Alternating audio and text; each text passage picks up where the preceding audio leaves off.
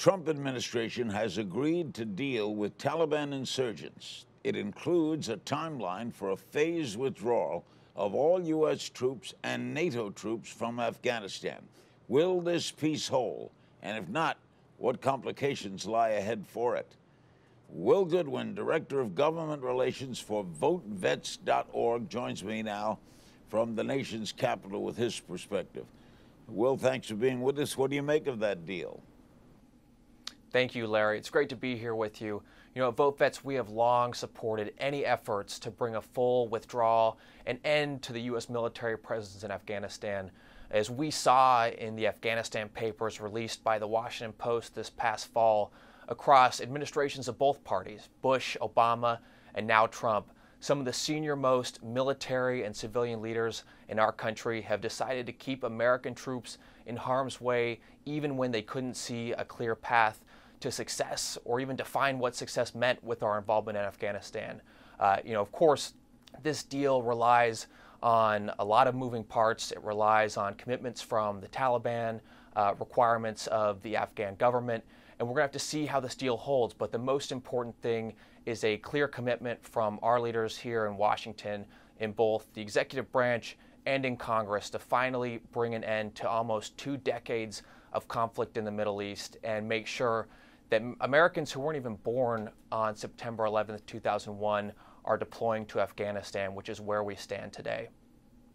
In fact, uh, when I interviewed the first of two interviews with President Putin of Russia, he said, and I'll quote him exactly I don't like to tell America what to do, but you're not going to be able to get out of Afghanistan. Well, Larry, I, I think at this point, the American people are tired of the situation that we find ourselves in.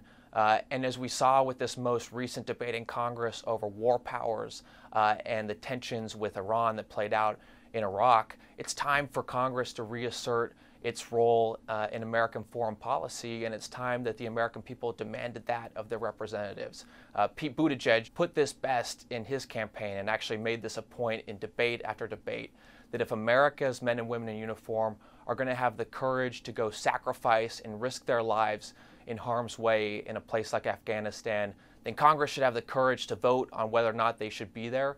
And when there's no uh, clear path and there's no compelling U.S. national security interest that can be achieved by the use of the U.S. military, it's on Congress and it's on the president to bring them home. Do you think uh, this deal will increase President Trump's chances of a reelection?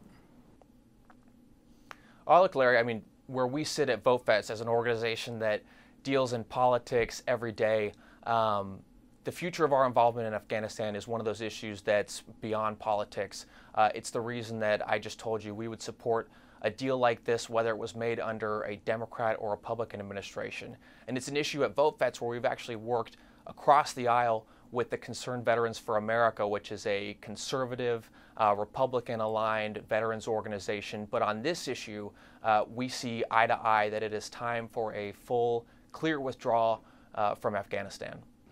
Uh, are you supporting anyone in the Democratic primaries? Uh, no, not at this point, Larry. You know, we made the decision for the first time ever to get involved uh, this year and endorse Pete Buttigieg and his historic primary campaign. And we're so proud of Pete and Chasten and all of the staff and volunteers who really built a movement, something that was positive and forward focused. And we were proud to endorse him and make an impact in the primary.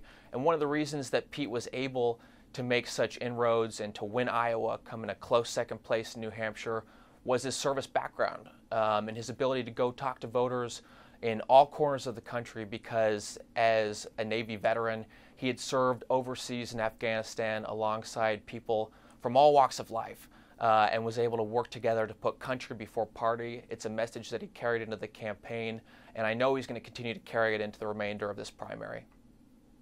President Trump has portrayed himself as the champion of the U.S. military.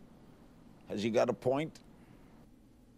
Uh, I don't think so, Larry, uh, and that's because President Trump has himself been a threat to national security and has allowed chaos and confusion to reign at the highest levels of our national security apparatus, whether that's hollowing out the State Department um, and decreasing the role of American diplomacy on the world stage, or pardoning war criminals and trashing war heroes at the U.S. Uh, across the U.S. military, or take a look at the VA, where we have had political appointee battles at the highest level that have gotten in the way of veteran care.